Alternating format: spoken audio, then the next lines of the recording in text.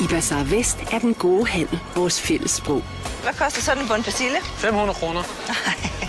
20 kroner så. Okay. Her kan du få alt det, du mangler, og alt det, du ikke anede, du havde brug for. Vi har udvidet med nye lokaler, mange nye butikker, Og det er en oplevelse at gå på indkøb herude. Altså mange mennesker, der er liv. Minder om de gamle markeder. Billig pris, Telenor Statsbakker og tankrap for 50 kroner. Normal pris 150, du får kun til 75 kroner.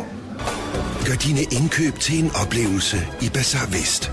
Vi har samlet hele verden under et tag og glæder os til at se dig.